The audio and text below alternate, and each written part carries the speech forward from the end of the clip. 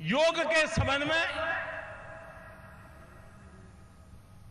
शरीर, मन, बुद्धि, आत्मा, ये सिंक्रोनाइज वे में काम करें। इसकी एक ट्रेनिंग योग के द्वारा होती है। हम अपनी तरफ़ देखें तो हमने देखा होगा कि हम चले या न चले हम स्फूर्तिले हो या आलसी हो? थके हुए हो या ऊर्जावान हो? हमारा शरीर कुछ भी हो सकता है।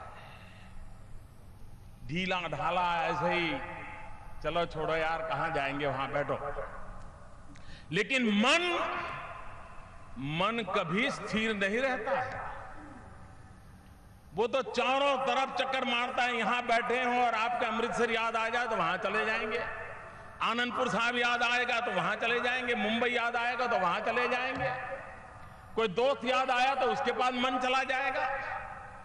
मन अस्थिर होता है, शरीर स्थिर होता है।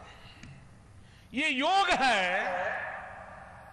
जो हमें सिखाता है मन को स्थिर कैसे करना और शरीर को गतिवान कैसे बनाना? यानी हमारी मूलभूत प्रकृति में परिवर्तन लाने का काम योग के द्वारा होता है, जिससे मन की स्थिरता की ट्रेनिंग हो और शरीर को गतिशीलता की ट्रेनिंग मिले। और अगर ये बैलेंस हो जाता है तो जीवन में ईश्वर दत्त जो ये हमारा शरीर है, वो हमारे सभी संकल्पों की पूर्ति के लिए उत्तम माध्यम बन सकता है।